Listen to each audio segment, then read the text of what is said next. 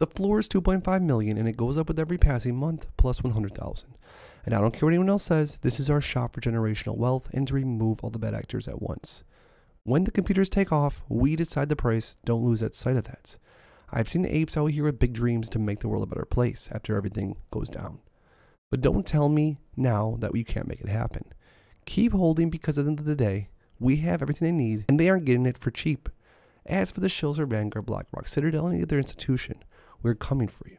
It could be months, could be years, but us Diamond Hand apes are not leaving. We are more determined at this point than ever. I'm holding for many, many thousands per share. Let's be honest.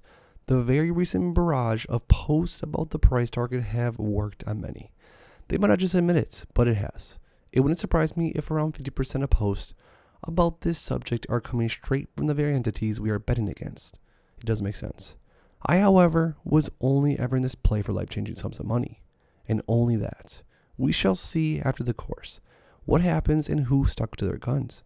But I know one thing that is, I will definitely not be sitting here wishing for the rest of my life that I would have held instead of given up. Watching the rest of you walk off with your new lives, and I just have a new car or some crap. Absolutely no chance. I've been haunted for this by years for my dismal Bitcoin from friends at work many, many years ago, and I think about it daily. Will I let it happen again? Not a chance.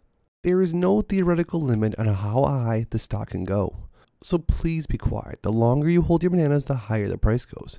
Either you believe in the DD or you don't. This is the definition of how to avoid a short squeeze. Short selling is risky because it has limited upside but unlimited downside. You guys heard that right? That is defined. Unlimited downside, which means AMC theoretically could go to insane, insane numbers 10,000, 100,000, $1.4 million per share. If you short a stock at $10, it can't go lower than zero. So the most you can make is 10 bucks per share on that trade.